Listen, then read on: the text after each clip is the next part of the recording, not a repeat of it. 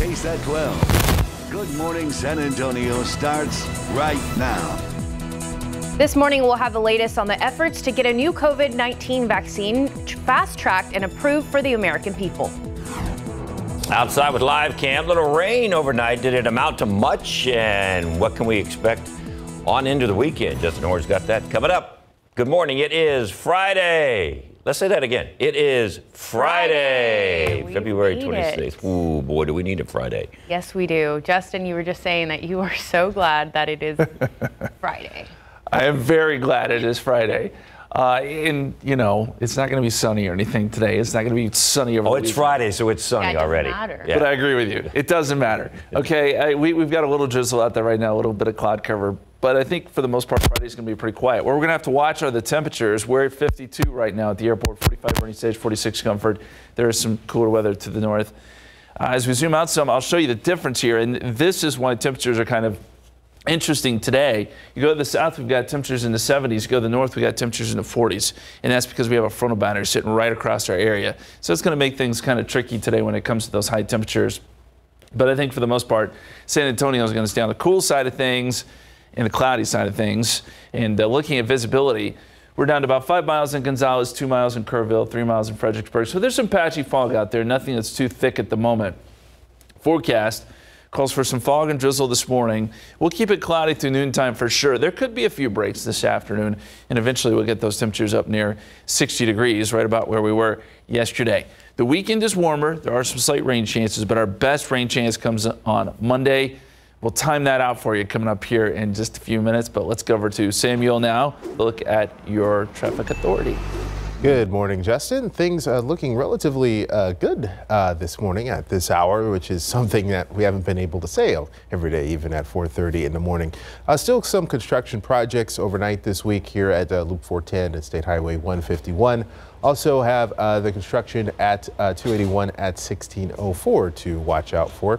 Let's take a look at travel time on I-10 early this morning. 26 minutes if you're coming in from Boerne to downtown and downtown to Boerne 27 minutes. And then once you get inside 1604, looks to be about 13 to 14 minutes each way. And here's a look at Transguide at 35 at Pine, uh, looking all right. Uh, here's 10, the upper level at Calabria, also uh, looking uh, fine this morning. And 151 at 410, we mentioned uh, that area uh, this morning. That is definitely somewhere that's looking good. Had some problems during the winter weather last week, guys, but things looking fine on this Friday morning. Let's send it back over to you.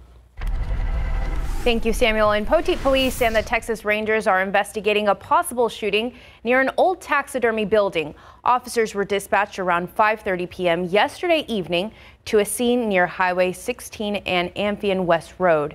A KSAT crew at the scene last night says they saw a body being rolled away in front of VR Outfitters, a meat processing and taxidermy business.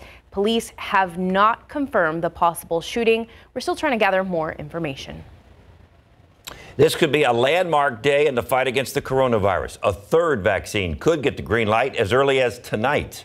Meanwhile, the virus is hitting the U.S. Navy with two ships now heading into port because of infections on board. ABC's Ike Ejiochi has more. This morning, two military ships in the Middle East have been taken out of service because of the coronavirus. The Navy says about a dozen service members tested positive on the USS San Diego, and several people on board the USS Philippine Sea are suspected of being infected. It comes as America prepares to add another weapon to its pandemic fighting arsenal. The FDA is expected to grant Johnson & Johnson emergency use authorization for its vaccine as early as tonight. Now that it's going to be only one shot, we're going to be able to vaccinate more people by the end of June. In addition to being a single dose, the Johnson & Johnson vaccine has been tested against several variants that are worrying public health officials. Moderna and Pfizer are already modifying vaccines to target certain variants, and both companies are testing a third booster in case more protection is needed. This morning, about 66 million Americans have received at least one vaccine shot. We're moving in the right direction. But the demand still outpacing supply. At one vaccination site in Massachusetts, 50,000 appointments were nearly filled in just 90 minutes. I understand that there is a limit of vaccines. That that is a real tangible issue, but there's got to be a better way. Meanwhile, another warning about those variants of the coronavirus. Brazil just seeing its deadliest day of the pandemic so far as the Brazilian mutation spreads. And again, that mutation has been found here in the United States. Ike Ejiochi, ABC News, Washington. And here's a look at the latest coronavirus numbers here in San Antonio. Bexar County is reporting 404 new cases and four new deaths. That brings our total number of cases to 194,736 and our total number of COVID 19 related fatalities to 2,514. 494 people are being treated in our hospitals for COVID 19. 194 are in the ICU, and 111 people are on ventilators. The city of San Antonio says 30,000 people have already signed up for the text alerts that show which of the local providers have vaccines, but that doesn't include every place that's offering the shot. Right now, alerts are only tied to the University Health, WellMed, and Alamodome mass vaccination sites. Not included at this point are HEB or CVS. Both say they're receiving a lot more doses this week for Texans across the state. If you'd like to get one of those slots, you have to keep an eye on their websites. It is all about helping students see themselves reflected in history. An African American Studies course aims to do just that and districts in our area are already hopping on board. Stephen Cavazos is live in the newsroom to share why experts hope the course will help shape a better future for our country. Good morning, Stephen. Hey, good morning, David. Well, it took a team of historians, educators, and policymakers to get this course off the ground. And David, they're hoping that this course will shed a brighter spotlight when it comes to black history. Now, San Antonio ISD and Judson ISD have already signed on board, but NEISD, Northeast ISD, that is, has just recently signed on and will incorporate this into their curriculum. Now, I spoke to Lawrence Scott, who is an assistant professor of education at Texas A&M San Antonio. He has also played a big part in getting this course into the classrooms. He says the goal is not just to teach students about civil rights icons like Dr. Martin Luther King Jr. or Harriet Tubman, but help them understand economic disparities, wage and opportunity gaps. Now, he hopes these critical conversations in the classroom will take the country forward and develop solutions to close those gaps. Now, coming up later this morning on GMSA, we'll actually hear from Scott, who shares why students will play a big part in shaping the country. David, Alicia? Thank you, Stephen. 437, and I can see that. 53, 53 degrees. degrees. I couldn't see it either. wow. Still okay. ahead, more details on a ruling by a Texas federal judge that says the temporary halt on evictions is unconstitutional. Plus, Texas is now home to yet another site that will start processing asylum seekers.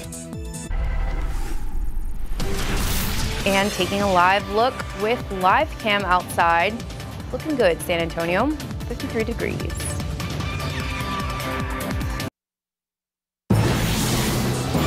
Welcome back. The U.S. military has conducted its first known airstrike under President Joe Biden.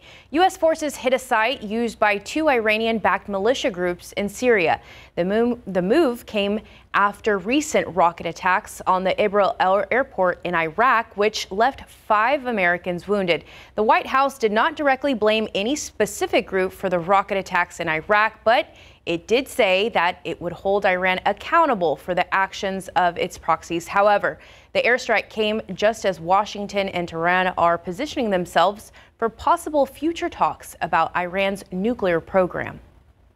The nation's temporary halt on evictions has suffered a setback in court. A federal judge here in Texas has ruled that the moratorium is unconstitutional. The Trump administration put the brakes on evictions in September, citing the pandemic, but a group of Texas landlords and property owners then went to court saying the government didn't have the power to stop evictions. In his ruling, the judge wrote that Congress lacked the authority to grant federal agencies the power to halt evictions. The moratorium is currently in effect until March 31st. It's still unclear if the Department of Justice will appeal. And a third U.S. border crossing will start processing asylum seekers who have been forced to wait in Mexico. The ports of entry in Brownsville and San Ysidro, California have already started doing that. And today, immigration, immigration officials in El Paso are set to follow suit. The move comes after President Biden began rolling back his predecessor's Remain in Mexico policy. It forced tens of thousands of asylum seekers to wait for their immigration hearings in Mexico, but many of them had had to wait for months, if not years, often in very tough conditions. The White House estimates that some 25,000 people still have active immigration cases. The San Antonio Spurs back on their home court tomorrow night following a 102-99 loss against the Oklahoma City Thunder in OKC. They'll be hosting the New Orleans Pelicans. Tip-off that one is set for 7 o'clock. The AT&T Center. We've got highlights after that game for you tomorrow night on the Night Beat. 442, 53 degrees. We can see it now. Ooh, chilly. Just ahead, ways you can deal with anxiety if you're expecting a new baby during the pandemic.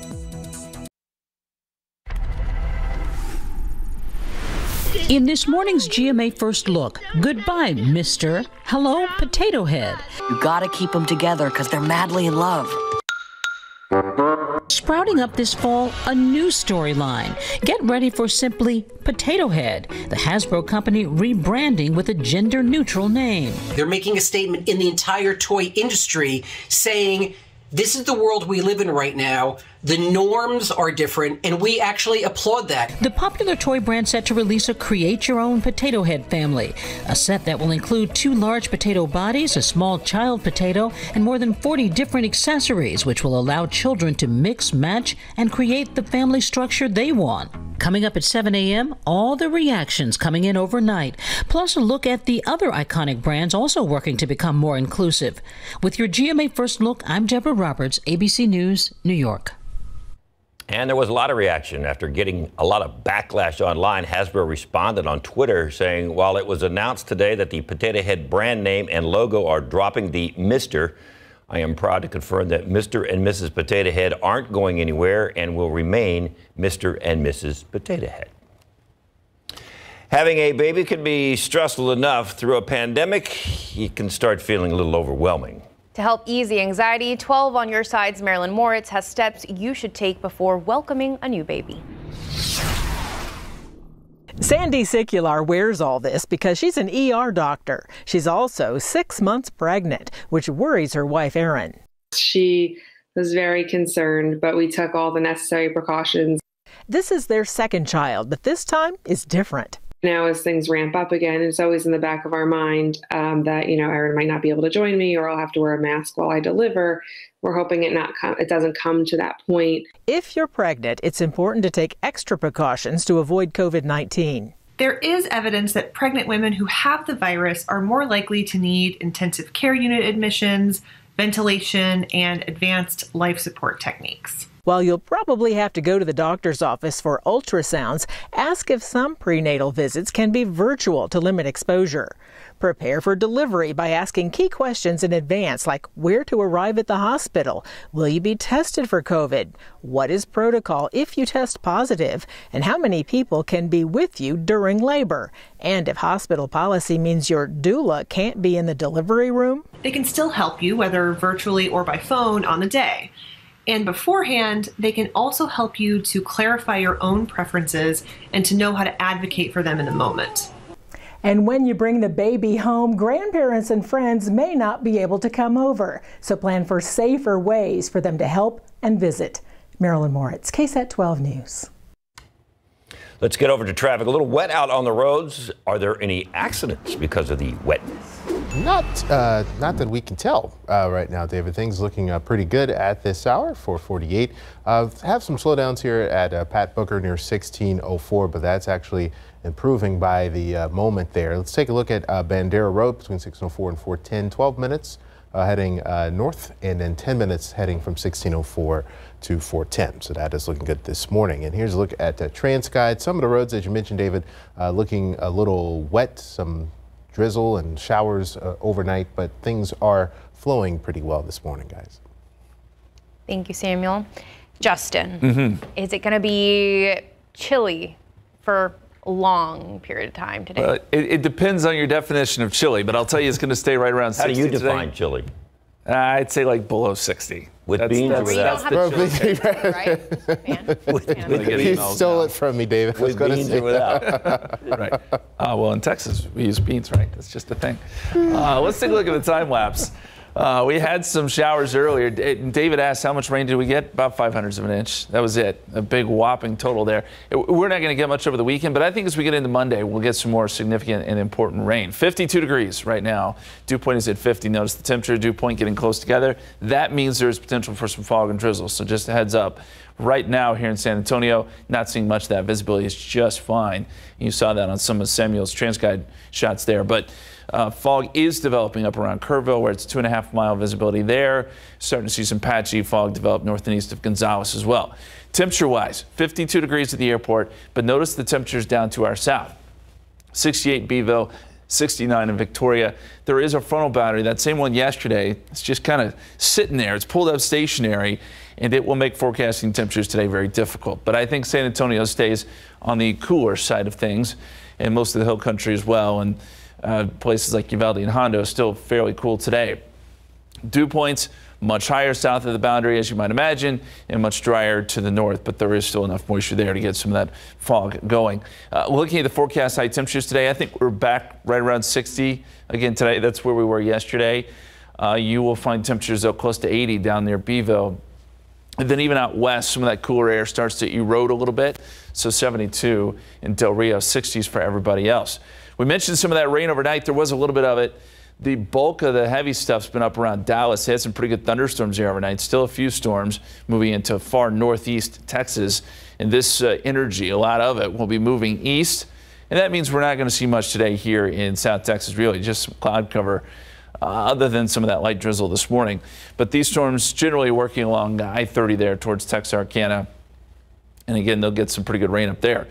Futurecast for us, just cloudy to mostly cloudy skies. We can't rule out the idea that we may see some sun this afternoon, some brief windows of sun. And then as we get into Saturday, same story. Isolated shower can't be ruled out, but I don't think we see much tomorrow. Sunday, rain chances increase a little bit, especially as we get into Sunday night and overnight into Monday morning that's when another frontal boundary comes in and our rain chances start to jump back up. And in fact, by Monday, with some upper level energy in place, I think we see some fairly widespread rain. This will add up a little bit more than what we're seeing this morning. I think we could see up to a quarter of an inch here in San Antonio, maybe up to half an inch to the north, one inch to the north and east. These are estimates here. Uh, once we get a little bit closer, we'll have a better idea. But the good news is that I do think we'll see some some rain that uh, adds up and shows up in the rain gauge. 74 degrees tomorrow, 20% chance of an isolated shower. Some fog and drizzle basically every morning through Sunday. 30% chance of showers and maybe a storm on Sunday. And then a 60% chance of rain Monday into early Tuesday. That'll knock temperatures back down again and uh, clearing out some Wednesday and Thursday, guys. So definitely sweater weather. We love to hear it. Yeah. Right? Time right now, 452, 53 degrees. Coming up next, a preview of this weekend's Golden Globes Awards. Who's expected to take home the top prize? A preview of this week's Golden Globe Awards, plus there's some new shows on your streaming services today. For the latest on what's happening in Hollywood, here's ABC's Jason Nathanson. It's the first big award show of the year, the Golden Globes, this weekend. And of course, like most things these days, it'll be mostly virtual. I'm your new lawyer. Which Best Actor in a Drama nominee and Better Call Saul star Bob Odenkirk tells me is a bummer. One of my favorite things about show business is the degree of social fun we get to have and the people we get to see. And oftentimes, as you get older, you're seeing old friends at these events. And it's a shame to not have that. Mank is the most nominated movie. The Crown, the most nominated TV show. The Golden Globes air live Sunday night on NBC. I think I'm gonna stop singing that song. You grandkids will be singing Strange Fruit. Out streaming today, The United States versus Billie Holiday. Andra Day plays the legendary jazz singer in this film from Lee Daniels about Holiday's fight against racism, drugs, and the federal government. That's on Hulu. We made this album in a bedroom at our house that we grew up in, so it's really like anything is possible. Also new today, a profile of a modern day singer in Billie Eilish, The World's a Little Blurry, which director RJ Cutler says chronicles the year Eilish went from bedroom artist to international superstar. That's out today on Apple TV Plus. And two very different singers with birthdays today. Erykah Badu is 50, while Michael Bolton is 68. And that's what's happening in Hollywood. I'm Jason Nathanson, ABC News, Los Angeles. It is now 457 and 53 degrees. Still ahead on GMSA, the latest on President Biden's Syria airstrikes that were in retaliation for a rocket attack in Iraq earlier this month. And a new photo sharing app that mimics the experience of using a disposable camera is getting popular. More details ahead on Tech Bites. Live from KSAT 12. Good Morning San Antonio starts right now. This morning, the Biden administration launches its first military strike targeting buildings in Syria. I'm Ike Ejiochi in Washington, coming up why the Biden administration decided to launch this strike. And outside with live cam, a little moisture in the air this morning. Not a lot of significant rain so far, but that may change as the weekend approaches. Justin Horne's got that for you coming up. Good morning. It is Friday. Let's say that together now. It is Friday. Ah, that sounds good, doesn't it? It's February 26th. Thanks for being with us this sweet? morning. Did you ever hear that song by Rebecca Black? I think Friday, Friday.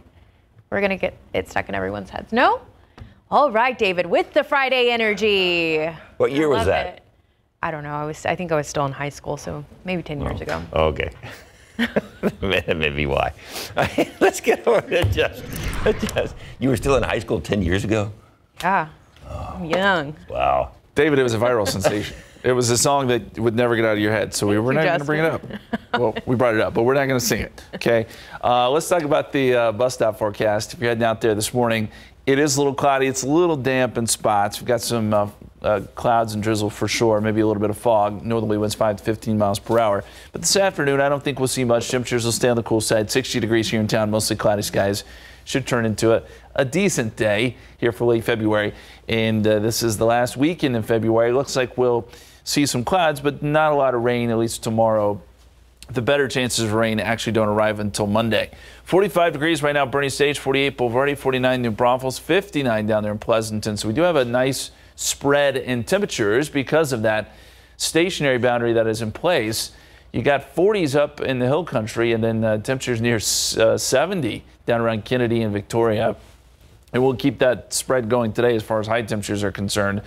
Uh, visibility down to about six miles in New Braunfels, three miles in Kerrville, five miles in Uvalde. And the forecast for today, is some fog and drizzle early, but we'll get those uh, temperatures up into the upper 50s, maybe even low 60s this afternoon with a few peaks of sun. The roads were wet when I was driving into work this morning, but it looks like they're maybe drying out a little bit uh, there, Samuel. Yeah, not as much uh, falling here in, in the past couple of hours, so they are drying up a little bit, but you may encounter some uh, slick spots here and there, like 281 at Divine. You can kind of see uh, still some slick spots there, but uh, traffic is uh, flowing well. Looking at the big map, uh, no problems really on the big map uh, right now. Let's go to the west side. They had some construction out here at 151 and 410, but right now the travel times look good, uh, 9 to 10 minutes each way between 1604 and 90. And looking across the region, coming in from New Braunfels, 26 minutes into downtown San Antonio, uh, 30 minutes coming in from Seguin into downtown, 20 minutes on 90, and from Castroville. And we'll have another update coming up. David, Alicia? Samuel, new this morning, a driver badly hurt overnight after being ejected during a crash. It happened at the intersection of Kaliza Drive and Marin Hills on the city's north side just after 1 o'clock. Police say a man in his 40s was driving eastbound on Kaliza and lost control. His car ended up on a sidewalk across the road, and the man was thrown from the vehicle. Officers say he is in critical condition. This morning, new details about President Biden's first military operation. The president ordered the airstrikes in eastern Syria. Officials say it was a retaliation for a rocket attack earlier in the month that wounded five Americans. ABC's Ike Ejiochi is in Washington with the latest. This morning, President Biden's first military strike launching two warplanes into eastern Syria. The target, a group of buildings in eastern Syria defense officials say are owned by Iranian backed militias believed responsible for recent attacks against Americans in Iraq. Defense Secretary Lloyd Austin saying the military strike was employed to protect American troops overseas. We're confident in, uh, in the target that we went after. We know what we hit. President Biden says the airstrikes were in response to a rocket attack on U.S. forces earlier this month outside Erbil in northern Iraq. The rocket attack slamming into a base that housed U.S. soldiers and contractors, wounding five Americans. On Monday, Pentagon spokesman John Kirby highlighting the aftermath of that rocket attack. These are dangerous attacks. Um, and as we saw in the one in Erbil, um, uh, an individual lost his life, and now a family's grieving. Officials tell ABC News Biden's airstrike could have resulted in a handful of casualties, but that it was the least lethal option. That target was being used by the same uh, Shia militia that, uh, that conducted the, the strikes. And this morning, congressional reaction already flowing in. Representative Mikey Sherrill telling MSNBC. You can't simply attack U.S. troops without any response. And yet, the response that he decided upon was measured. The Pentagon spokesperson telling ABC that the Biden administration, quote, acted in a deliberate manner that aims to de escalate the overall situation. Now, President Biden says he's open to rejoining the Iran nuclear deal that the previous administration pulled out of. However, he says he wants to see even more restrictions. In Washington, Ike Ejiochi, ABC News. And the head of ERCOT and the operator of the state's electric grid testified again last night in front of both the Texas House and Senate. ERCOT President Bill Magness said they expected rolling outages in the beginning, but started experiencing high power demand Sunday. Texas lawmakers criticized ERCOT for not making the message about the severity of the situation more clear to the public. Governor Greg Abbott has called reforming ERCOT an emergency item during this legislative session.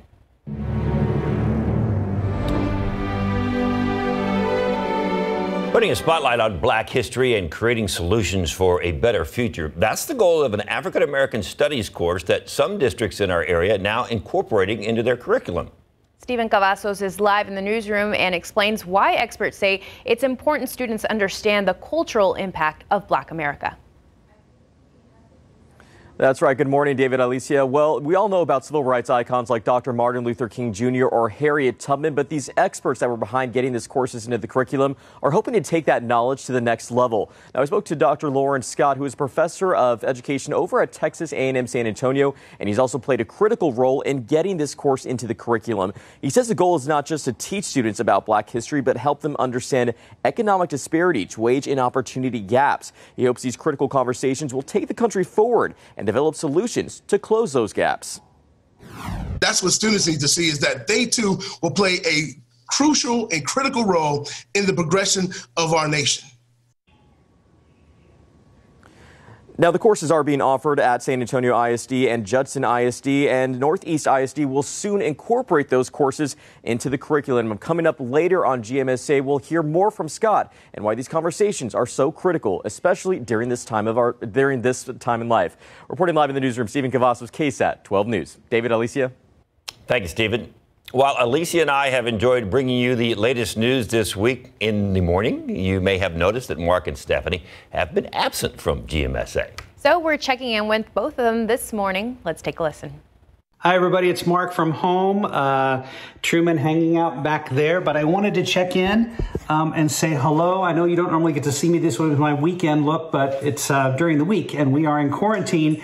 Uh, just to be safe, uh, I am feeling fine and hope to be back very soon. I've been trying to keep myself busy here at home. I've been digging through old boxes reluctantly and actually stumbled across this. I painted it in high school. It was due in April of 1984 at Woodbridge High School in Woodbridge, Virginia. That's just crazy to stumble across that. Speaking of Virginia, uh, a state that I love, I'm reading Lynn Cheney's book, The Virginia Dynasty, about four of our U.S. presidents from the Commonwealth. Um, it's a good read. I want to finish The Crown, but I can't. I promised my girlfriend I wouldn't finish it without her, so The Crown stays locked down for now. Um, that's about it from here. I just wanted to say hello. I miss everybody. Hope to be back very, very soon. Hi guys, just wanted to say hello. We're being told to stay home as a precaution, but I feel fine. My family feels fine. We're just at home uh, working on assignments for school and doing laundry. I hope you're doing well, especially after last week. But uh, just wanted to say a quick hello and that we miss you and can't wait to see you soon. Bye. Bye. Rooney is so adorable and glad to hear that. Homework and laundry? Hey, you know, you got to do what you got to do. I guess so. Especially when you're working from home. Well, Sorry, we're glad Steph. that both of them are doing well and their Yeah, families. Good to see them. It's 509 and 52 degrees. Still ahead, we'll have the latest on TikTok paying millions of dollars to settle a case following the theft of personal data. And coming up next, we hear from Trinity University professor Dr. Carey Latimore and his thoughts on the history of Black History Month. And taking a live look with live cam, steady traffic. It's going to be a pretty day if you like cloudy days. We'll be back.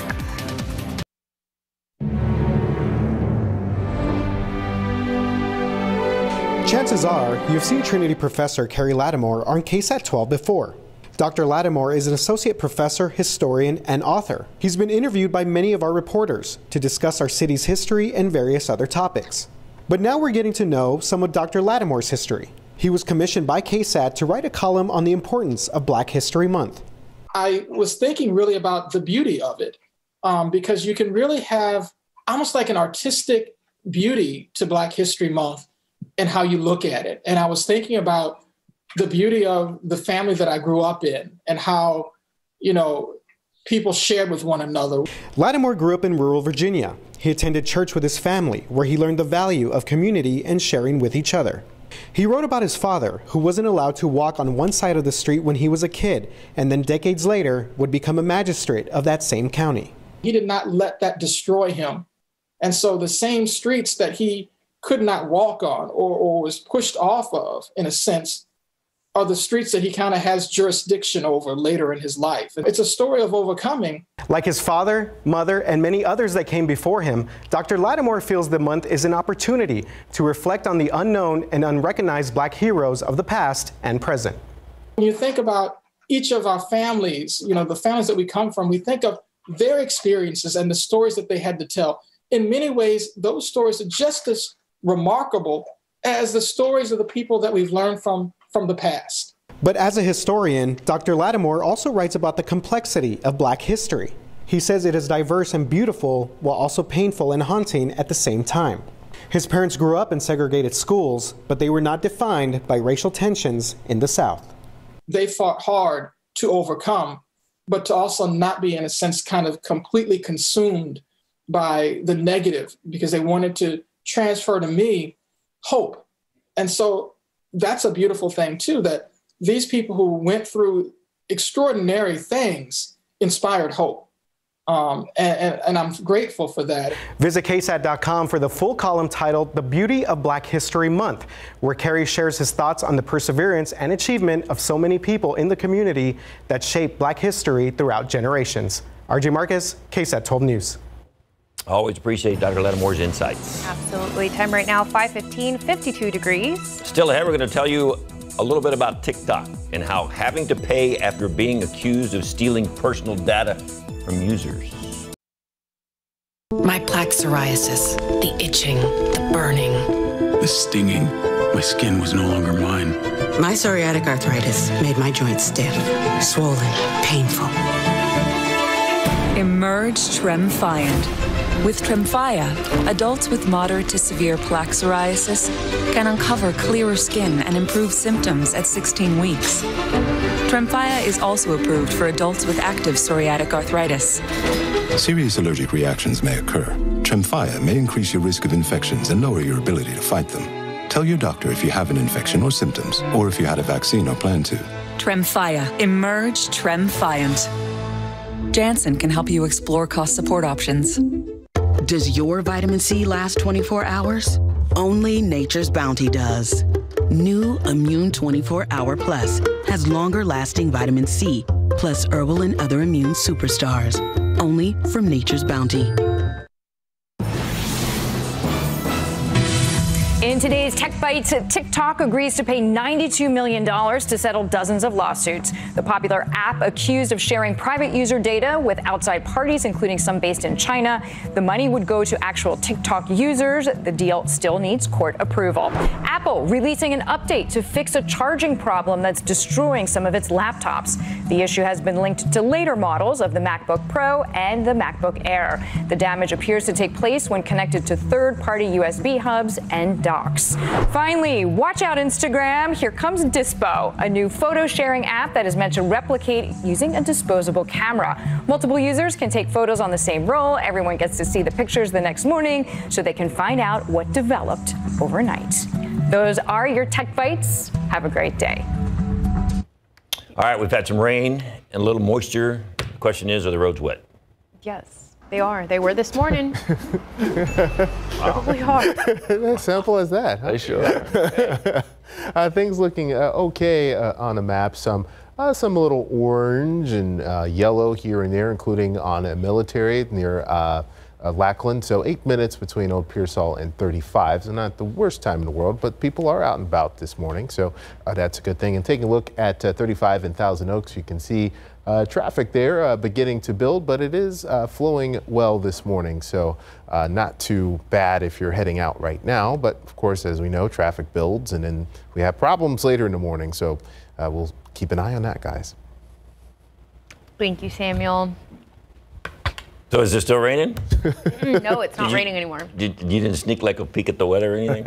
No. You knew, the, you knew the roads were wet. David's got questions. We've got answers. Okay. That's what we do here. Okay. Yeah. Is it raining? Uh, no, not at the moment. Okay. Thank you. There, there is a little bit of drizzle in spots, but not here in San Antonio. Hey, let's look at the drought monitor. Uh, it is still a bad situation as you go out across the western half of the country. You see all the reds and the maroon colors. That uh, represents extreme and exceptional drought.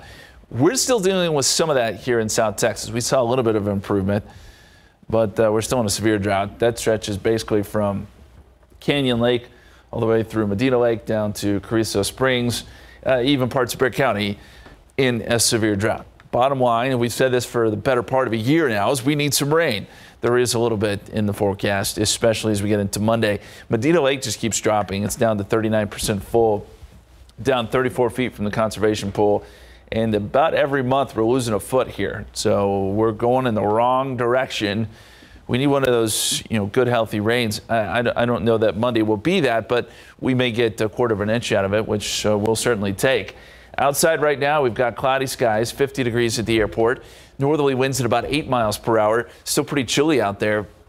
And as far as uh, visibility goes, there has been no fog here in San Antonio. I don't anticipate a ton of issues with fog here in town, but there will be some spots where visibility comes down. Rock Springs, for example, down to a mile and a half. Kerrville down to about three miles. Everybody else at this point doing okay. So here's where it gets a little tricky today. We've got a, a frontal boundary that's draped across the area. We saw this yesterday. It's pulled up stationary. So anyone south of that boundary is going to see some pretty warm temperatures today. Anyone to the north of it's going to see cooler numbers. Uh, San Antonio probably stays on the north side of this boundary, so we'll be right around uh, 60 degrees this afternoon. Pretty close to where we were yesterday. Kerrville 62, 61 in Hondo this afternoon. But places like Beeville could up could get close to 80. Uh, just to show you the difference there, and there will be some warmer temperatures, I think, out west too. Specifically for San Antonio, we're going to keep things cloudy with maybe a few breaks in those clouds this afternoon. Again, up around 60 for a high with a northerly wind anywhere from 5 to 10 miles per hour. Big picture here some good rain up across northeast Texas. We just sort of missed out. We had about 5 hundredths of an inch officially at the airport with some light showers. The really good heavy rain is now up across parts of northeast Texas and Arkansas. And our forecast basically just calls for some mostly cloudy skies today. As we get into tomorrow, outside chance for showers. Certainly can't rule it out, 20% chance, but uh, mostly cloudy conditions as well by the afternoon. Sunday, rain chances increase a little bit, but they really start to pick up late Sunday night into Monday morning as another frontal boundary comes in. We could see some thunderstorms of this too. That's something I want to watch uh, late Sunday night. And then uh, Monday, we should see some widespread shower activity, which, I, as I mentioned, it may add up to a quarter of an inch in some cases, uh, maybe a half an inch as you go north of San Antonio, and then some better totals up by 35. Extended forecast 74 on your Saturday, mostly cloudy, 75 Sunday. Keep in mind, we could see some fog and drizzle each and every morning through Sunday. And then cooler behind that front, 59, 60% chance of rain Monday, and that'll hold over into Tuesday morning as well, guys. Well, here's the good news for you. You've answered all my questions. Good. At least for now. Good. I'll think of some new ones.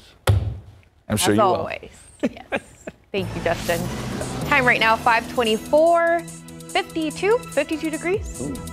Hey, coming up next in your morning spotlight, a first look at Pixar's newest film opening in June and highlights of a special Hollywood Walk of Fame ceremony. Welcome back. It's 526. Today in entertainment news, a Pixar sneak peek and an online Walk of Fame ceremony. Here's CNN's David Daniel with the Hollywood Minute.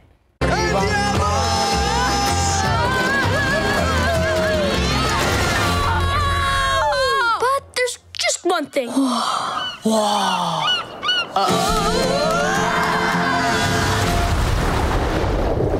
whoa, whoa, wait! D- did you see that? No one can find out. Here's your first look at Disney and Pixar's Luca, about friends whose summer on the Italian Riviera can only be ruined if people discover they're really sea monsters from another world. Luca opens in June. This really is incredible. Oscar winning costume designer Ruth E. Carter has been inducted into the Hollywood Walk of Fame. The walk's 2,694th star is just the second ever to go to a costume designer. The virtual ceremony included messages from Oprah Winfrey and Eddie Murphy, and even a look at how the star was made. You can watch the entire ceremony on the Walk of Fame's YouTube channel. Not far from Carter's star in Hollywood, I'm David Daniel. It's kind of amazing. Only two costume designers to get a Hollywood Walk of Fame. And then to be able to see it like that, kind of Yeah. behind the scenes, that's very cool. Interesting. 528, 52 degrees. Still ahead, the latest on a COVID 19 vaccine as medical experts warn of a fourth surge and lawmakers get ready to take up the $1.9 trillion COVID 19 relief bill. Plus, good news for Sephora. Sephora customers. That's makeup, right? That's right. See? Okay, more details on their plans to open more freestanding stores in Texas. If you are just waking up, your alarm's going off. It is 5:31 and it is Friday. Friday. Oh, aren't we so happy it's finally Friday? I'm excited. Ooh, are you? Yes. Pumped. Especially Pumped because it's not going to be raining all day. It's just that drizzle in the morning. Not any fog. Justin, You're right. it's going to be a good day. I think so. I mean, it's going to be a little cool. Temperatures will be around 60, but mostly cloudy skies. We're not looking for much rain today. You're right, Alicia. And tomorrow, probably same story. So Saturday is going to look pretty good too. Warmer as well. 70s on your Saturday. Pollen count is in. Mold is low. Mount Cedar is low. Actually, we will get new numbers here in a couple of hours, but I suspect that they'll be pretty similar. Uh, we're not looking for much of a change in pollen count. It's we're kind of in between seasons right now. 45 degrees comfort, 45 Boerne Stage, 50 at Randolph, 59 Pleasanton. And you see the, the big spread in temperatures here. It only gets worse as we zoom out. 43 Fredericksburg, but it's 68 in Corpus Christi. We've got a frontal boundary that stretches across the area. It's pulled up stationary, so we'll see a wide range in temperatures today. San Antonio, though, staying on the cool side of things likely, with highs only around 60. Uh, there is a little bit of fog out there, although so far it hasn't been a big problem. The lowest visibility I'm seeing is out near Rock Springs, where it's a mile and a half. Forecast for today, some fog and drizzle early, can't rule that out. Temperatures will climb into the mid 50s by noontime, likely seeing cloudy. Few breaks, though, possible this afternoon. And again, we're up around 60 degrees for a high today. We did pick up a little bit of rain overnight. There were some wet roads earlier, though it looks like things are drying out a little bit. Samuel, any issues this morning? Not too many uh, issues right now, Justin, as we take a look at uh, TransGuide 281 at Hildebrand. Uh, looking fine, traffic picking up a little bit, but you mentioned there was some little rain in six spots overnight, so watch out for that uh, on the roads this morning. The map looks green and good. Let's take you out to close to the medical center area in Fredericksburg Road here. Evener and Woodlawn are normal time 14, 15 minutes each way, so that's good. And looking at some travel times, if you're coming into San Antonio from around the region, at Boerne, 25 minutes on I-10 into downtown San Antonio. uh, 17 minutes on 35 from Lytle, 26 minutes from New Braunfels on 35, and 10 minutes into downtown from Seguin. Uh, uh, not, not 10 minutes, 29 minutes on I-10 from Seguin. We'll have another update coming up. David, Alicia. All right, Samuel, thank you. Late breaking news now. We want to get you to the latest on a high speed chase that just wrapped up on the far west side. It all ended at 1604 in Dove Canyon. That's where Katrina Weber is live with the latest. Katrina, good morning. Well, good morning. Yeah, this was a quite a chase. It, pretty much a loop around the city. It lasted probably about 20 minutes, covered many miles, including three highways and several city streets. But this is the end of the road, this access road. Uh, for three people, San Antonio police say that they took three young people, uh, younger than 16 years old, into custody after this car. Uh, just wrecked out right here. Uh, actually, the, the tires were flattened when Bexar County Sheriff's Office sheriff's deputies helped with spike strips. Now, this car, according to police, was stolen earlier in the evening. Officers spotted it driving around town, tried to stop it, but the driver uh, took them on a chase. They ended up on Loop 410 to I-10 to 1604, and then finally that is where they hit the spike strips right around Potranco. and then uh, ended their ride here, got out and tried to run, but police did take those people into custody. Uh, they say that the owner of this car did suffer some injuries in that robbery earlier in the evening. Uh, he, they, he, was hit over the head with a gun, but uh, it was a minor injury. But police have recovered the car, although not in the shape that it was in when it was taken, and they also have three people in custody as a result of what happened here. Reporting live on the far west side, Katrina Weber, KSAT 12 News. Thank you, Katrina. As medical experts warn of another potential surge of COVID 19 cases here in the U.S., lawmakers are getting ready to vote on the $1.9 trillion COVID 19 relief bill. The House bill vote on the bill vote today, but as Britt Conway reports, there's a key element that the Senate plans to remove.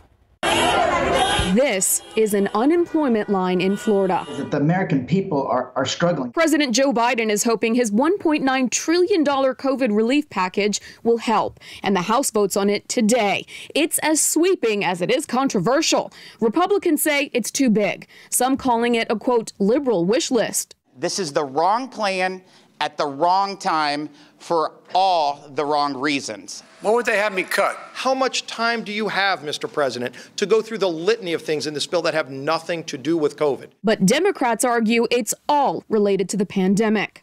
We are still in a historic crisis of health of the economy. COVID-19 pandemic is a once in a century tragedy, it requires a once in a century congressional response. So, what does it include? $1,400 stimulus checks for millions of Americans, enhanced unemployment assistance, nutrition assistance, housing aid, boosted tax credits for families and workers, optional paid sick and family leave, funding for education and childcare, health insurance subsidies, more money for small businesses, billions in aid to states, and increased support for vaccines and testing. But one item that won't be in the Senate version is the $15 federal minimum wage hike. It's a disappointment for many Democrats, but it might be the cut needed to get the bill across the finish line. We've got to pass it and make sure it gets uh, implemented as soon as possible. I'm Britt Conway reporting.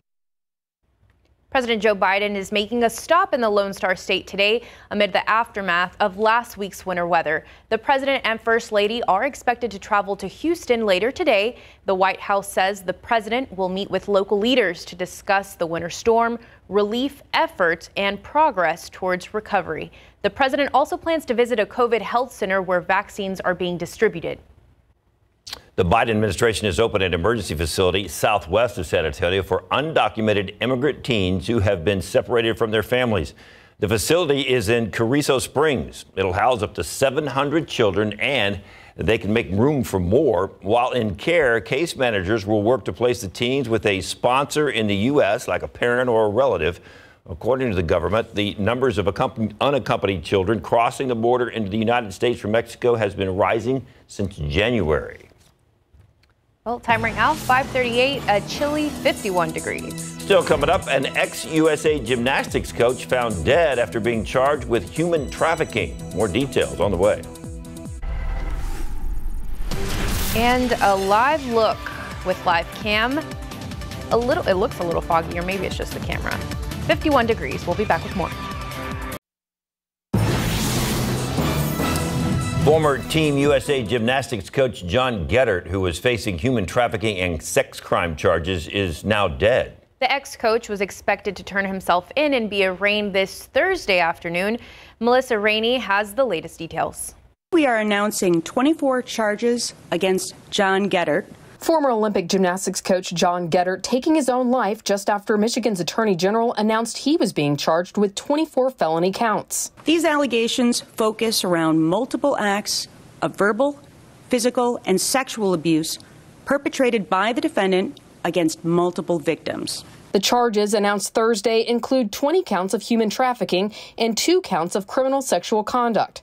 Geddert led the 2012 U.S. Olympic women's gymnastics team and was the former owner of Michigan's famed Twistars Gymnastics Club, a club where former gymnastics doctor Larry Nassar admitted to sexually abusing young female athletes. Nassar was sentenced in 2018 to up to 175 years in prison. Some gymnasts speaking about Geddert then. There isn't one bone in my body that doesn't hate John Geddert for everything he has done to me in my career. The dynamic duo that is Larry Nassar and John Geddert had lasting effects on me that go beyond physical ones. Sarah Klein, who identified herself as the first to be abused by Nassar, released a statement Thursday saying, in part, John Geddert's escape from justice by committing suicide is traumatizing beyond words. Michigan's Attorney General saying this is a tragic end to a tragic story for everyone involved. I'm Melissa Rainey reporting. It's now 542 and 51 degrees. And next, how Pepsi is trying to be part of your at home cocktail mixing experience. Welcome back in your morning consumer headlines. Hyundai is recalling 82,000 electric ca- cars globally. The vehicle's batteries need to be replaced after 15 reports of car fires. No one was hurt in any of the fires, and none actually took place here in the United States. However, the recall is one of the most expensive in history. Replacing an entire battery on an electric car is an extreme measure. On a per vehicle basis, the average cost is $11,000 per car. It will cost Hyundai about $900 million total. Beauty product sales may have tanked during the pandemic, but one retailer is betting on a comeback. Sephora plans to open more than 60 new freestanding stores in the U.S. this year. Most of them will not be in shopping malls, though. The future locations include several cities here in Texas. That's on top of about 200 mini stores that Sephora will open in Kohl's department stores. Combined, that makes the company's biggest U.S. expansion in 21 years. Makeup sales have dropped by 34% in the U.S. last year, but Sephora is still hoping to capitalize in the future partly by focusing on suburban and off mall locations. And Pepsi apparently wants to be part of your at home cocktail experience. The soda company has launched a new line of mixers called Neon Zebra. The mixers feature four flavors, you see them there, that each come in seven and a half ounce can. There are non alcoholic, so you will have to add the alcohol to make your margarita, daiquiri, or mojito. The cans are sold in six packs for about seven or eight dollars per pack. Neon Zebra is expected to hit stores on March 1st, so just in time for spring break. Awesome. And just in time for spring break, SeaWorld is looking for some help, looking for a job. Here you go. The park needs to fill 500 part-time and seasonal positions. Some of these jobs come with a $200 signing bonus. They include jobs in park operations, food service, and maintenance. Lifeguards also needed. If you're interested in applying, we've got more information for you right there on our website. Just go to ksat.com. We're already talking summertime jobs. Or spring break jobs. Or spring break jobs, maybe. Right. The time. But man, got here quick. Very. Speaking of quick, how fast can you go on the roads? we'll get to that in a moment, but you might need some extra cash if you're going to pay for gas. Uh, if you got used to some Ooh. of the low prices we've had over the past uh, year or so. That has changed mostly because of the winter storm, according to AAA Texas. A lot of refineries, of course, went offline last week and they're getting back in production, but the damage has been done. Uh, 234 in uh, Bexar County just a couple weeks ago. It was 216, 240. Average price across Texas, 269 across the United States. Bexar County, though, that has the lowest average gas price in the state. So that's something uh, for us. But right now, you're not going to be using too much gas idling. We do have a stalled vehicle here at 90 and Cupples, but it's not really affecting travel times too much on 90 between 6 and 35. 11 minutes there. And here's a look at TransGuide 37 at 181 looks a little worse than it is in terms of the fog down there, but uh, 35 at Pine looking fine. But as you see, traffic is picking up and building, guys. Thank you, Samuel. And Justin is, is ready. what? You okay over there?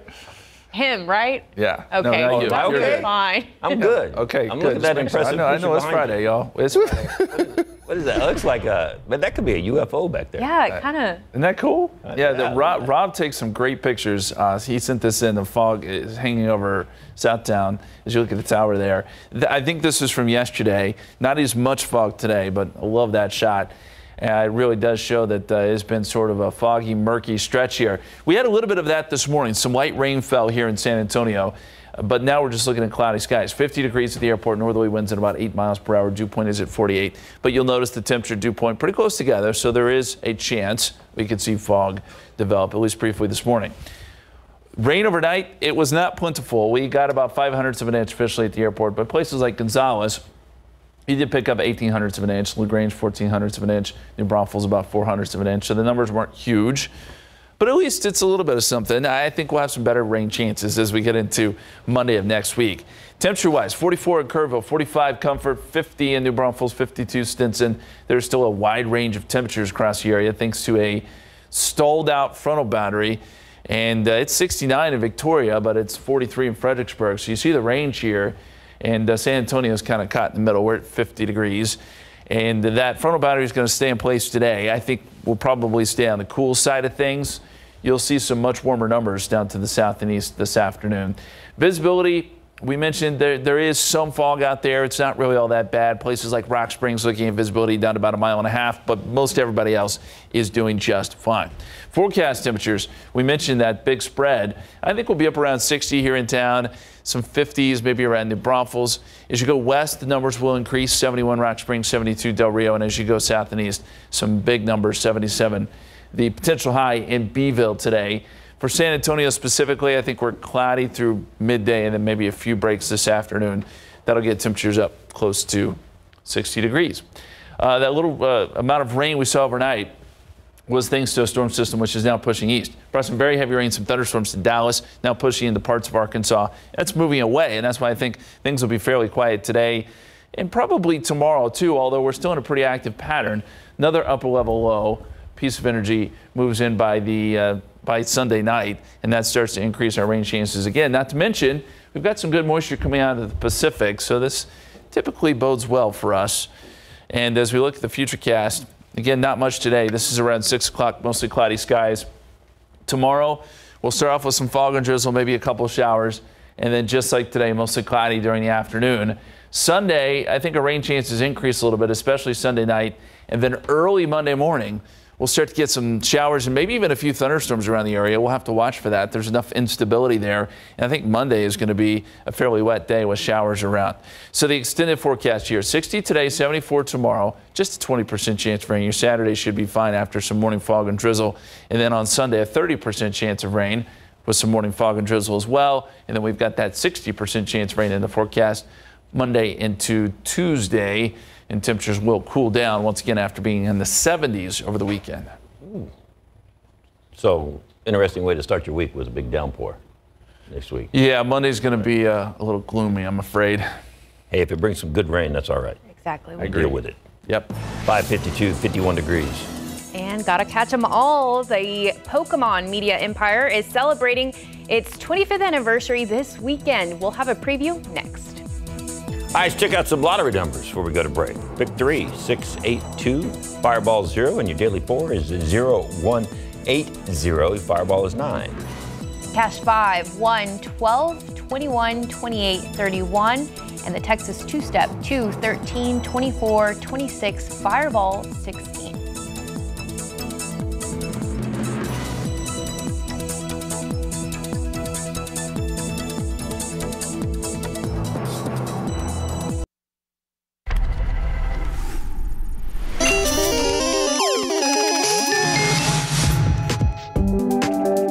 First arrived in 1996, spawning a global entertainment empire encompassing video games, trading cards, animation, and more. I never would have guessed we would be here today, after 25 years. This year marks the franchise's 25th anniversary. Among the first events celebrating Pokemon is a virtual concert by Pokefan Post Malone. The show will be live streamed Saturday at 7 p.m. Eastern at 25.pokemon.com.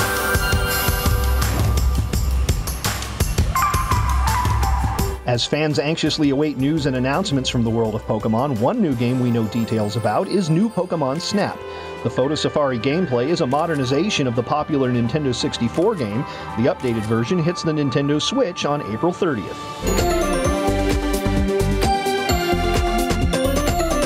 While February 27th is considered Pokemon Day, the celebration is expected to last the year. In Hollywood, and still trying to catch them all after 25 years, I'm Rick Damigella. KSAT Community teaming up with local nonprofits to help San Antonians recover from the aftermath of last week's winter storm. Right now on our website, we have a list of city services available for people who need aid if you are a, in a position to help others. We also have a list of organizations you can donate to. You can find it right there on ksatcommunity.com. Once again, on our website. And another way you can help out is by donating blood. Our KSAT community partner, University Health, hosting a blood drive on Monday and Tuesday. It's happening at the Witte Museum from 10 a.m. until 3 p.m. Appointments are required. If you'd like to schedule an appointment, all you have to do is call the number on your screen, 210 358 2812, or you can visit ksatcommunity.com once again. All right, we're going to come back next hour with more news, traffic, and weather. But as we go to break, I want to tell you that as Black History Month is coming to an end, we are learning more from our leaders in the community.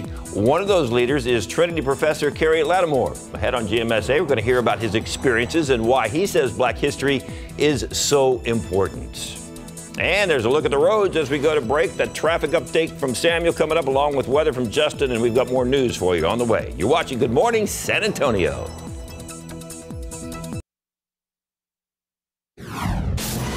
One man fighting for his life in the hospital this morning after police say he was ejected from a car overnight. We've got the details on what led up to that ejection. Critical conversations being had in the classroom. Coming up this morning on GMSA, we'll hear more about an African American studies course that's being incorporated into curriculums.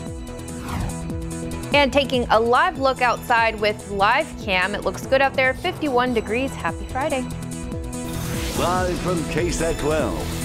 Good Morning San Antonio starts right now. And good morning. All together now. It is Friday. That wasn't bad. February 26th is the date, and we are excited because it's Friday, and boy, do we deserve a Friday. Yes, Ooh, are Thank we glad you. it's here. Thank you for starting your morning with us. Yeah, and a little, uh, you know, a little rain here, a little drizzle here, a little this, a little that, but it's all right. It's, all good. It's okay. It's Friday. It's Friday. It's, all it's good. all good. Uh, yeah, you know, we'll see some cloud cover today. I don't think we'll see a lot of rain. We'll see some clouds tomorrow, but all in all, pretty good weekend, and then some rain chances, uh, good rain chances on Monday. So that's what we have to look forward to. Temperatures across the state right now, we've got a big spread 24 in Amarillo, it's 70 in Brownsville. You got to love Texas because a lot of real estate here, and we can get a lot of difference in temperatures, but that's because there's a frontal boundary that uh, snakes through our viewing area. And right now we're on the cool side of things. 50 here in San Antonio, 47 in Waco, 70 though in Houston. They're on the other side of that boundary. Uh, as far as rain goes, we picked up a little bit overnight. Most of the rain's starting to move out though, and uh, looks like we'll see a fairly rain-free day, minus a little bit of drizzle and uh, maybe some mist and fog this morning. 52 degrees 8 o'clock, 53 10 o'clock.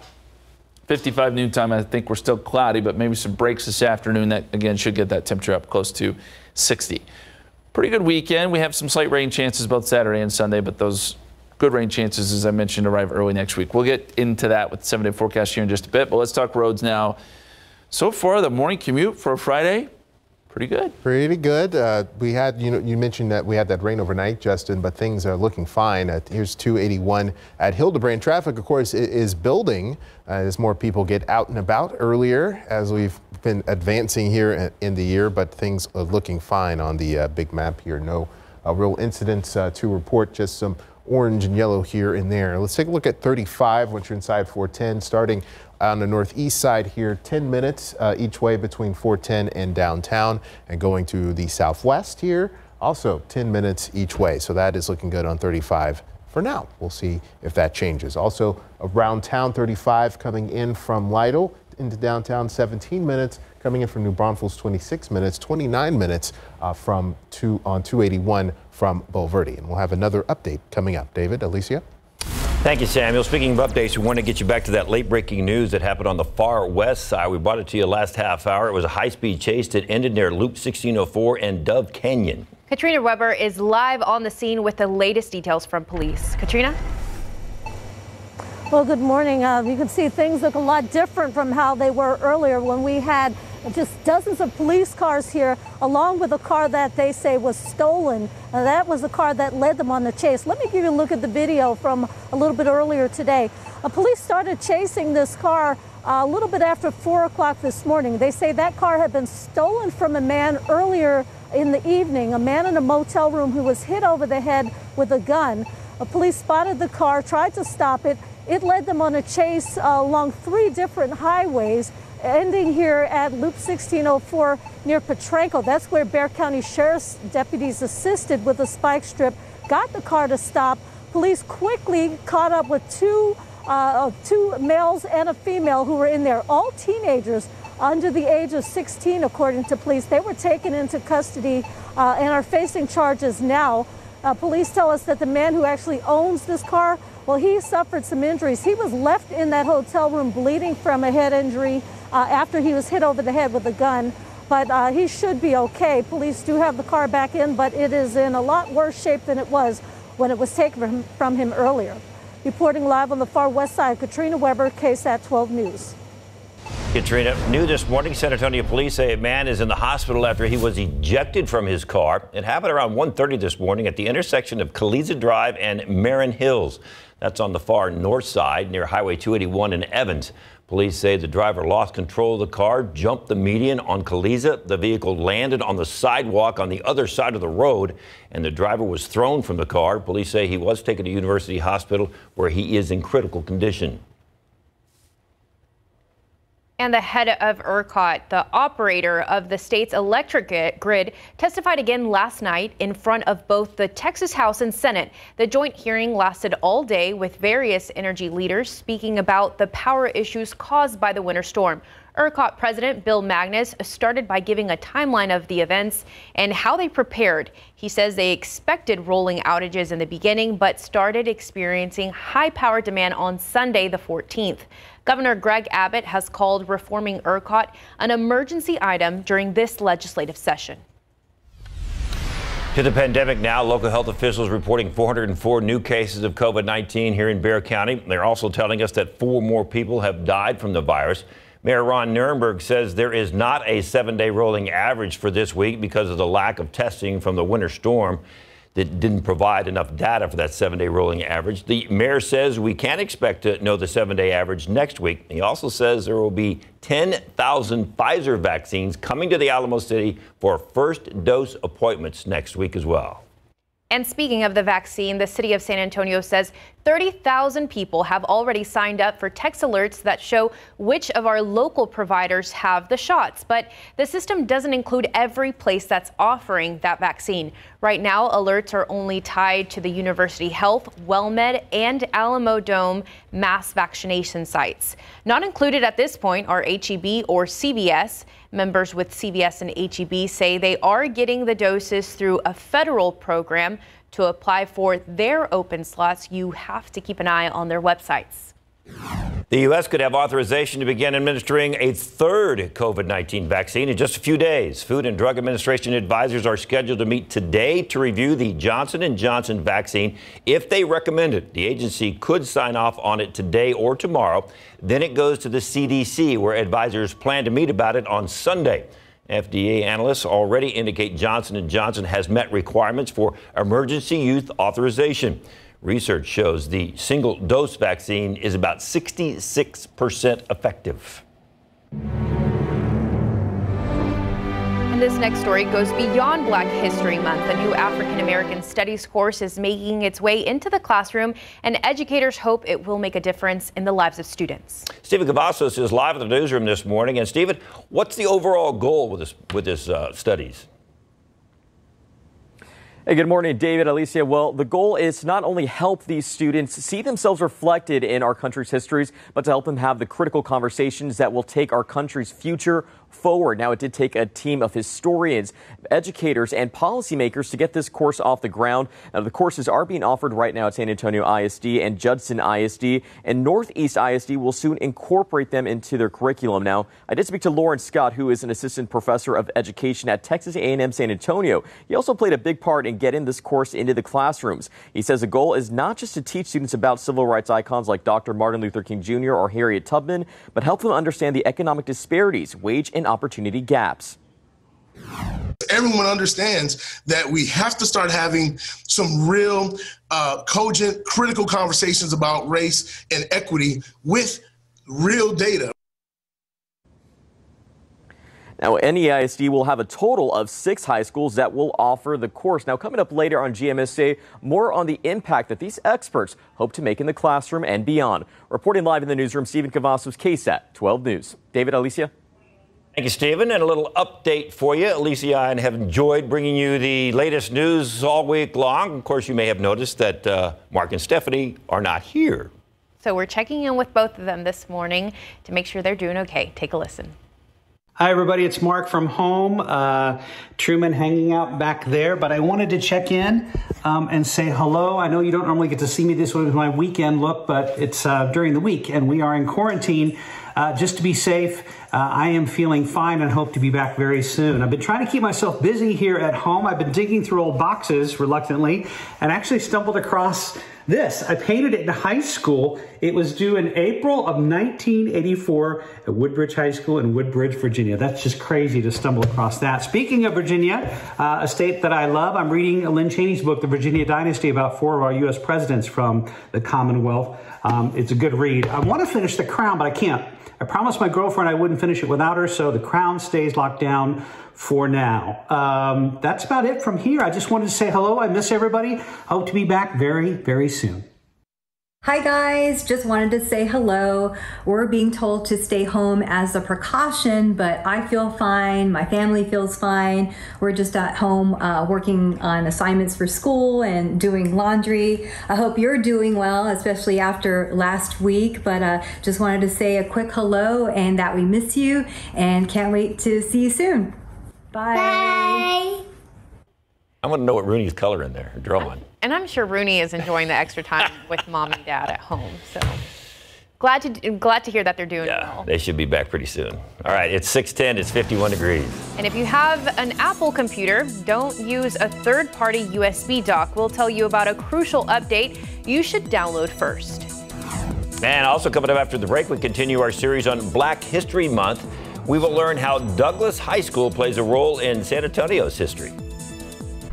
And taking a live look outside with live cam. Right now it's 51 degrees.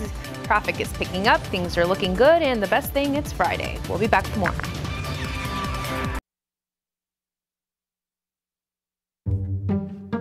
The first school for African Americans in San Antonio was built in the late 1860s, just a few years after the Civil War ended. The two story, four room building was reportedly built with $4,000 from the sale of an abandoned tannery. It opened in 1871 as the Riverside School for students of all ages, located on Rincon, which we now call St. Mary Street. In 1904, the name changed to Frederick Douglass School, named after the famous abolitionist. Ten years later, the school moved to what is now Martin Luther King Drive after members of the African American community pushed for more educational opportunities for their children. The school continued to grow, and in 1933, the newer, more modern Phyllis Wheatley High School was built. That was the last graduating class of Douglass High School. The school turned into an elementary in 1969 and went under a complete $9.3 million renovation between 2002 and 2006. Today, it's known as Frederick Douglass Academy and teaches students pre K through eighth grade. Had a little moisture on the roads this morning, but But by the time you go home today, it won't be an issue. It's probably not an issue now, right? maybe not. I don't know. Let's find out. Let's check in with Samuel. Lots of green. Yes. Let me look at the map here. Ooh, look at that. Yeah, lots of green. I mean, some of this stuff is normal, but uh, for the most part, uh, we're looking fine on a Friday morning, which is a good thing uh, for everyone. Let's uh, go up here uh, to I-10 first. Uh, 25 minutes each way between uh, downtown and Boerne, and between 1604 and Boerne, 14 minutes. So that's looking good. And let's go over here to uh, the north side to 81 eight minutes heading uh, southbound from Bulverde Road to 1604, and in seven minutes uh, northbound. A little yellow there, but it could be a lot worse, as we know. And here's TransGuide. That was 35 at Thousand Oaks. Traffic building there. Traffic building on the southeast side, too, at 37 and 181. But uh, traffic is one thing, but as long as it's flowing, that's a good thing for everyone. So now would be, if you have to head out to work, now would be a good time to do so, guys. All right, Samuel, thank you very much. Look pretty good out there because Just- it's not raining right now. It's not raining, Yeah. and it's not going to be like that till Monday. Right now, it's going to be cloudy, Yep. which I love, but probably David not a fan. Cloudy and cool. Little sun wouldn't hurt.